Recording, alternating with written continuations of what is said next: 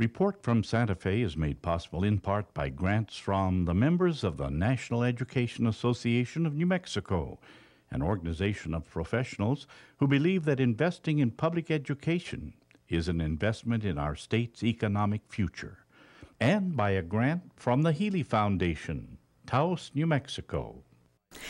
Hello, I'm Lorene Mills, and welcome to Report from Santa Fe. Today we're doing a very special program about death penalty issues in New Mexico. And I'm honored to have today two wonderful guests who have worked so long and hard on this issue. First, we have Representative Gail Chasey, Democrat from Bernalillo County. You worked for how many years? To well, we worked for 10 years in, in order to get the death penalty repealed in New Mexico in 2009. And thank you very much for that. We also have Marcia Wilson, a retired attorney in Santa Fe. But tell us a little about your background and, and the, the, the piece of scholarship that you did that's so important to this issue. Well, I um, I was an attorney. I retired in 2003, and before I got re- before I was retired, I got involved in a state bar task force on the death penalty. And it became apparent that no one knew how many death penalty cases there had been, or where they were filed, or what the outcome was. And so I started trying to find them all. And after I retired, I continued doing that and eventually found all these cases and wrote an article that was published in the New Mexico Law Review about how the death penalty was applied in New Mexico. And it is kind of the go to piece about this. And, uh, you know, people need constantly to to understand the scope of this. So if you could give us, well, let's take a moment now to give us a little of the historical background. How many cases have there been? How many executions have there been? What do people need to know about the application of the death penalty in New Mexico? And your work was from 1979 through December 2007. It was used in the law that repealed that abolished the death penalty in 2009 but and so you can kind of update it for us too that's a huge thing i'm asking of you please well, um, there were. New Mexico has never been all that enthusiastic about the death penalty. And the last execution in this state, the last forcible execution, was in 1960. Terry Clark dropped his appeals and allowed the state to execute him uh, in I believe it was 2001. That is a volunteer. He volunteered to be executed. Other than that, between 79 and 2009, there were 217 death penalty cases filed, cases in which the prosecution actually sought the death penalty. There were 15 men sentenced to death, that's 7% of the cases. Um, there were a lot of different kinds of situations in which the prosecution sought the death penalty. And I mean, the thing that strikes me, the death penalty is very expensive. New Mexico never did a cost study, but every state who has done one has found that it's multiples of what it costs to prosecute a regular criminal case, a regular case without the death sentence at stake. And in New Mexico, Justice Maassen estimated it would be six times as expensive as a death penalty case, uh, excuse me, as a murder case in which death was not a possible sentence. And can you speak to the? This is one of your main issues when you brought this before the legislature time and again. Is the actual cost of these cases? And well, interestingly, when we first were introducing the bill, the Speaker of the House would give it a referral to the House Appropriations and Finance Committee as one of the committees to um, examine the policy of eliminating the death penalty and replacing it with a sentence of life without possibility of parole. what ended up happening is the in the end because of the fiscal analysis of the legislation, it had a positive impact on our budget. So the Speaker of the House stopped referring it to the House Appropriations Committee. Um, Max Coll had been the chair, and he had his um, fiscal people had looked at it and they said, this is going to save the state money to abolish it, and therefore it doesn't really need to come before the Appropriations Committee. Um, there have been estimates by the Public Defender's Office. As, as Marcia said, we didn't actually do a cost study, but the estimates range from at least two million to four million a year that um, would be saved just by not having it on the books. Because once you charge um, a case as a death penalty case, the costs immediately um, are attached to that prosecution. And you know, one of the things that uh, related to that kind of a cost is the the human costs, the mm. personnel costs. Representative Moe Maestas speaks very eloquently about the time that he served as a prosecutor in Bernalillo County, and there was a very high profile uh, death penalty case underway. Um, I, I, can't think of the name, but it was uh, it, it, involved a, a, murder, and of course, was it the Astorga case? It, it, no, it wasn't. The Astorga case came after the death penalty, oh, okay. but um, what it was the Gurley Hassencroft. Mm. I'm, I'm, not sure if I've got the last yeah, name right. It's okay. But what what Representative Maestas said is that the top prosecutors in the district attorney's office had to put all their other cases on hold, and we're talking violent crimes against the community. And those were stacking up or given to um, less senior, less experienced prosecutors. And they did nothing else for over a year. So, what you've done is you've actually reduced the um, prosecution of other important crimes simply because of the cost in human terms of seeking the death penalty. And, and I agree with that. I think the problem that people don't understand is that in order to get the, the small number of death sentences, all of which, by the way, were, were, with the exception of Terry Clark, none of them actually ended with an execution. But to get that small number of death sentences, you had to file 217 cases. It doesn't work any other way because, the, as Gail said, the costs are all front loaded costs the costs of getting the experts for trial, the costs of uh, more attorneys being involved, more hearings being involved. It's a much more complex thing. And that is why the cost goes up so much. It's not just, oh, death is one possible sentence. The fact that it is death quite appropriately requires additional safeguards, and that takes time and money. And that's under our U.S. Constitution and our state constitution. We don't simply say, this crime is so horrible, the Constitution doesn't apply. Otherwise, we could take people who are um, accused of and who very likely did perpetrate horrific crimes and just, you know, hang them next week, as was done back in territorial days. Um, that was swift justice and sure, and, and may have served a greater deterrent than, than now. The research shows that the death penalty does not provide a deterrent. Let's talk about why this is up now. Uh, in August of 2016, Governor Martinez said that she was going to push for the reinstatement of the death penalty.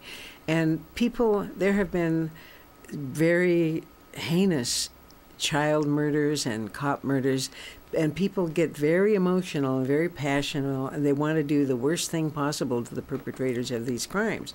But why is that the wrong answer to the wrong question? Well, I think that what happens is we are all heartbroken and deeply, deeply concerned about these terrible tragedies. All we, the easiest thing to say is those people ought to be, ought to receive the ultimate punishment immediately.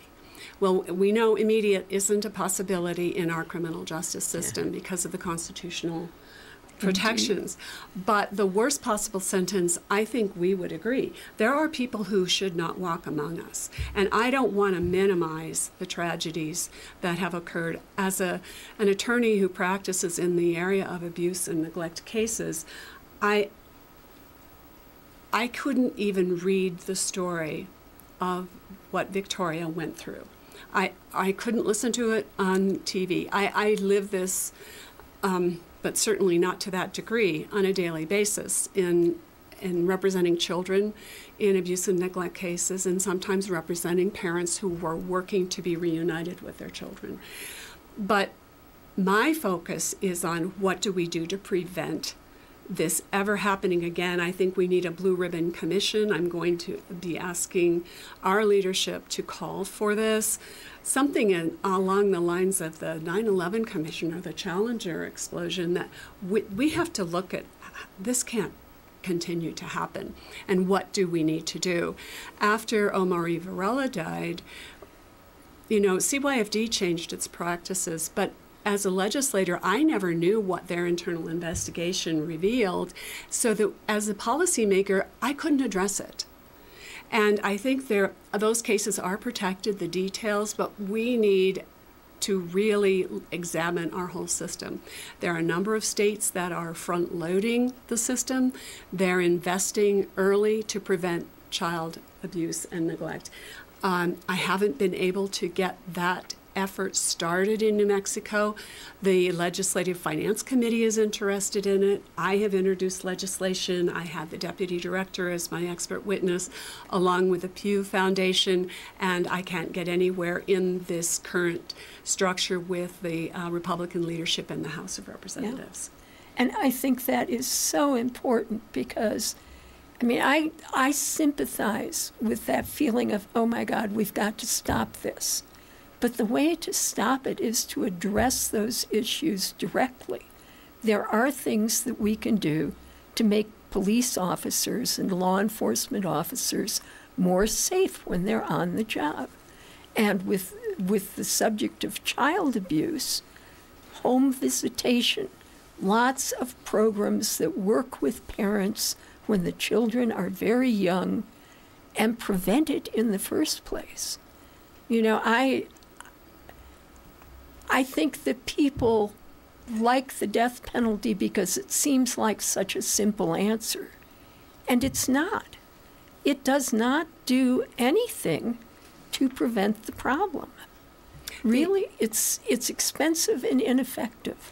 Also, with regard to the killing of our police officers, which has been, um, again, a heartbreaking and uh, just a terrible terrible problem to address.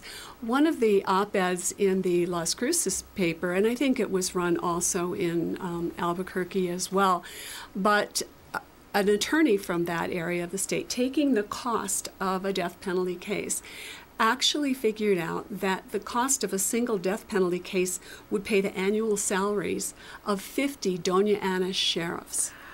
So Dona Ana County could have more personnel.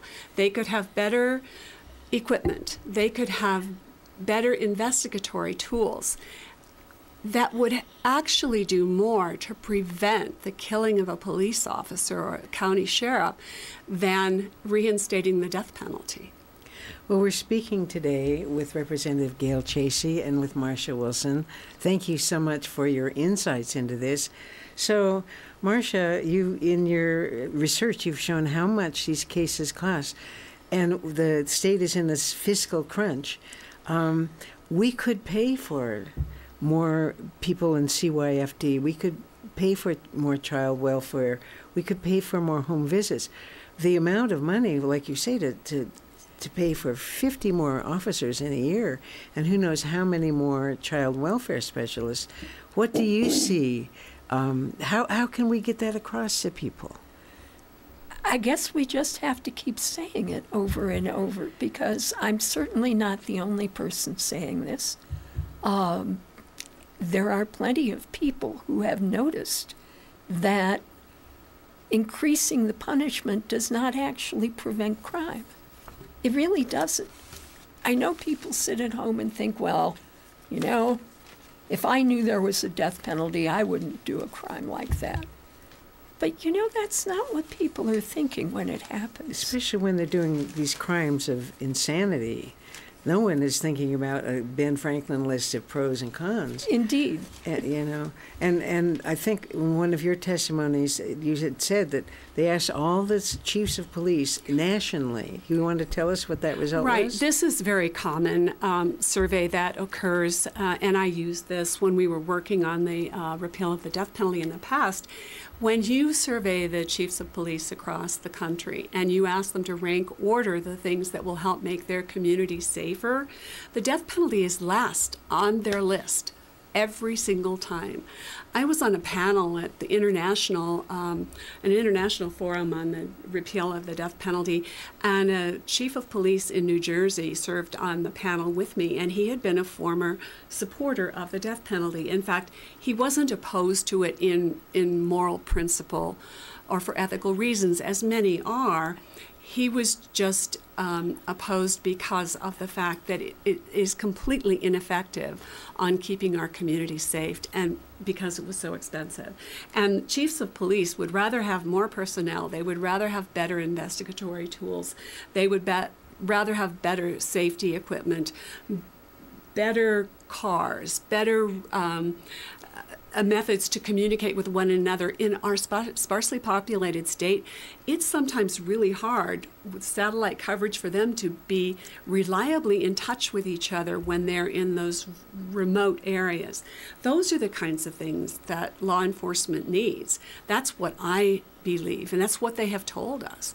So it's a knee jerk reaction. It's very, I think it's very cynical. I think it's because it generates emotion a lot of people are so misinformed because we haven't talked about it in in in, in quite some time. Uh, we talked about it a lot in 2009, or for 10 years we talked about it a lot. I think people forget that if we were to pass a law to have the death penalty reinstated, all of these crimes that have just been committed wouldn't be punished by the death penalty. So these people who have just broken our hearts and outraged our communities, rightfully so, would not be subject to the death penalty. Only once it's in effect would a crime committed uh, result in a sentence of death, which is in 7% of those brought, if that's, we go with our last um, averages. And yes. our, our murder rate declined after we um, passed the yes. repeal after we repealed the death penalty and replaced it with life, life without parole. So it it's not a rational response. It's not an informed response. It's not a studied response. It's not looking at the evidence and saying, where does the evidence take us? In fact, frankly, it seems like it's a political move and very cynical and um, I think betrays our trust in public officials. It to me it's when you're in the middle of a serious budget crisis and every single day this state is going deeper and deeper into debt. And then to come up with, oh, well, we're going to try and reinstate the death penalty. Well, you know, you're just going to make the crisis worse. That's what it's going to do is make it worse.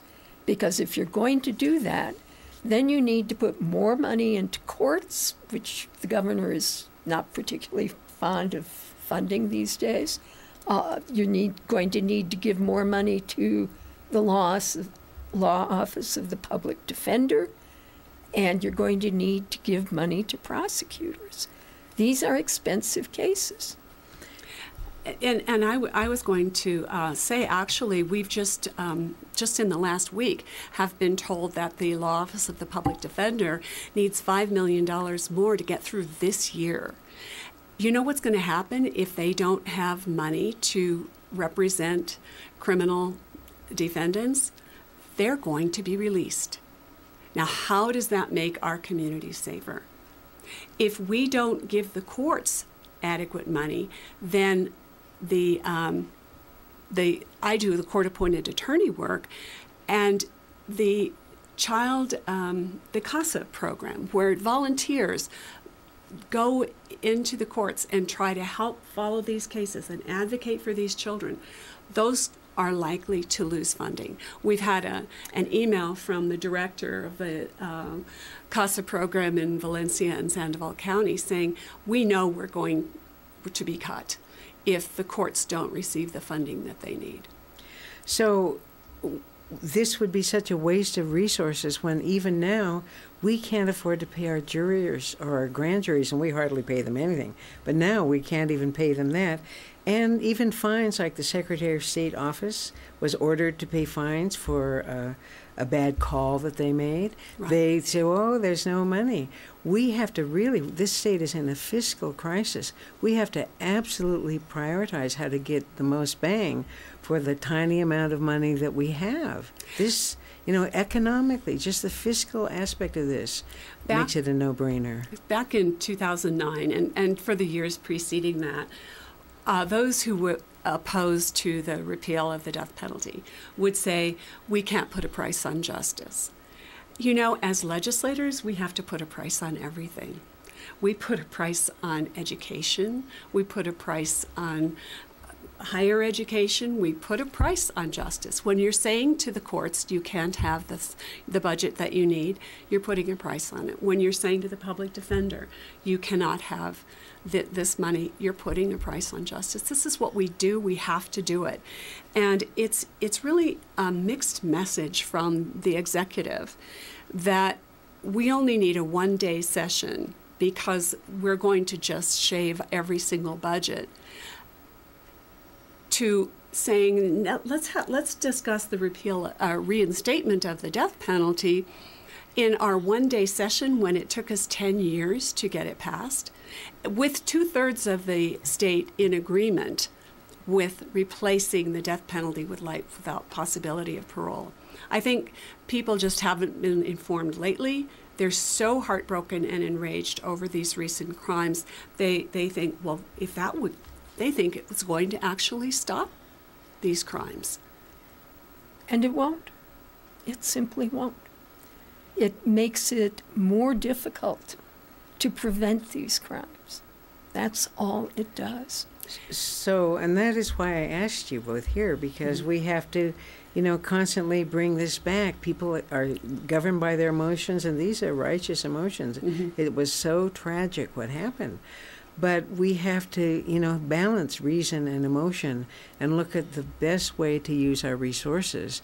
And if the, the best way to use those millions that would go to the appeals of a death penalty uh, judgment could go to CYFD with with you know child welfare visits and when someone is is reported when there's been a, a child that's been flagged a couple of times and still nothing is done that results in the death of that child maybe we should put the money into checking out these reports rather than after the exactly. fact yeah Exactly. And I guess I, I wonder um, what we are doing talking about this when our focus should be entirely on the budget and how we can best meet our um, our immediate needs and look to the future on having a responsible budget because we don't do deficit budgeting in New Mexico. It's it's not allowed by our constitution. But you know, there what what's really heartbreaking to me, in addition to all of this, these difficult and and um, um, unforgivable tragedies, is the fact that we were on a path in New Mexico of criminal justice reform, and this criminal justice reform in New Mexico was not a partisan issue. We had brought in the House and the Senate. It was a subcommittee of the committee I chaired, which was the Interim Courts, Corrections, and Justice Committee. I, I should say co chaired, because it's a co chair with the House and the Senate we had a subcommittee on criminal justice reform. We brought in some leading figures from red states, from Texas and from South Dakota. And this is something that um, nationally the Republicans and Democrats have worked together on. In fact, I don't align myself much with the Koch brothers, but they have supported criminal justice reform. There's a, a group called Right on Crime. Karl Rove has been active in this group. So it's um, active in Texas, it's active in a number of red states. What they have decided they need to do and we've talked about this here, is we need to lock up dangerous people. There are those who should not walk among us. And the others need to have punishments that fit the crime. But if they're not dangerous, let's not spend our money on keeping them in prison. Let's not build more prisons. Let's put our money into prevention. And so they're doing that in Texas, they're doing that in uh, South Dakota, a number of other states. We had, until the 2014 election, we were working on that in New Mexico, and we had the support of the Pew Foundation. We unfortunately never had the governor's buy-in. And for that reason, the Pew Foundation wouldn't fund the effort. Mm. They want all three branches of government. We had the courts, we had the legislature, but we didn't have the governor. I, I guess what I object to is that when things become so politically divisive as they did after 2014 and the Republicans took over in the House of Representatives, um, it killed good policy. It's happening now um, at the national level. There's a criminal justice reform bill that's being pushed by Senator Durbin and Senator Grassley, who Grassley is a Republican from Iowa, Durbin is a Democrat. But it's on hold now because of this bitter presidential debate. Mm-hmm. And it's really a shame because we are not enacting good public policy because of political divisiveness. And I can only think that the um, call to reinstate the death penalty is political in nature, and it is um, that is a horrible disservice to our state. Well, we're going to have to leave it there. Uh, Marcia, I'm hoping, yeah, I was hoping we could get to the Women's Justice Project. Maybe we'll do it in the future because it's something you're, you're, working on that's very important too. But I'm so grateful to the two of you for taking the time to come and talk about these important death penalty issues. Our guests today are Representative Gail Chasey. Thank you for joining us. and you. Marcia Wilson, thank you so much for joining us. Thank you. And I'm Lorene Mills. I'd like to thank you, our audience, for being with us today on Report from Santa Fe. We'll see you next week.